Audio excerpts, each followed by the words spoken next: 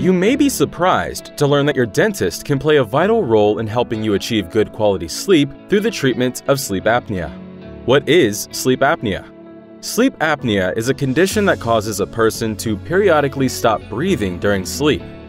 Obstructive sleep apnea is fairly common and occurs because something blocking the airway causes breathing to stop. Signs and symptoms of obstructive sleep apnea.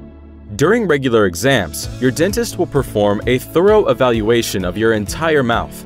Sleep apnea often causes problems like teeth clenching and grinding or acid reflux, which can leave visible evidence on the teeth.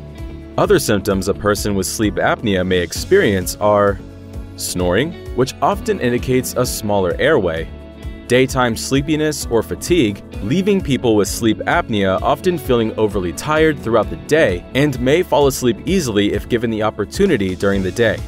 Sudden awakenings with a sensation of gasping or choking due to the brain sending an emergency signal to awaken and breathe.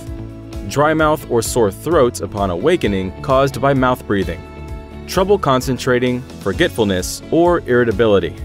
Good quality sleep is necessary for both physical and mental health. Without it, we are not our best selves. If you or a loved one may suffer from obstructive sleep apnea, talk with your dentist first. Together, we can work to improve your oral health, sleep quality, and overall wellness.